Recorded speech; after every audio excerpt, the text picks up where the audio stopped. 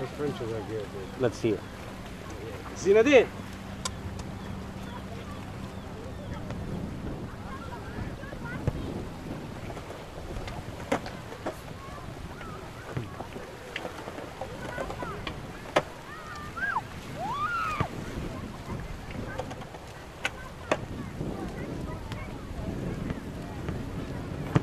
Woo!